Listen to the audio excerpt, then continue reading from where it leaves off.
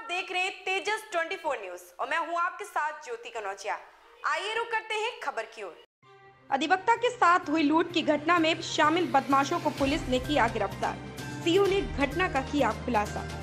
कन्नौज के तिरवा रोड पर 15 अगस्त को अधिवक्ता राकेश तिवारी के साथ हुई लूट की घटना के मामले में एसपी द्वारा एसओजी समेत पुलिस की विभिन्न टीमों का गठन कर मामले की जाँच पड़ताल के लिए लगाया गया था।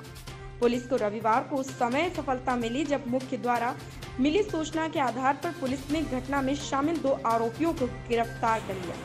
गिरफ़्तार किए गए अभियुक्तों में गोलू व सागर शामिल हैं, जिनके पास से पुलिस ने एक तमंचा 315 बोर्ड दो ज़िंदा कारतूस, पाँच मोबाइल, एक किलो नशीला पदार्थ, बाइक बिना नंबर प्लेट के बरामद की गई। इसके अलावा पुलिस ने उक्त दोनों के पास से 10,560 की नकदी भी बरामद की गई। पूछताछ में आरोपियों ने अपना गुना भी कबूल किया है। घटना को लेकर सिटी प्रताप सिंह ने सदर कोतवाली में खुलासा किया। ऐसी ही खबर से जुड़े रहने के लिए आप देखते रहें तेजस 24 न्यूज़।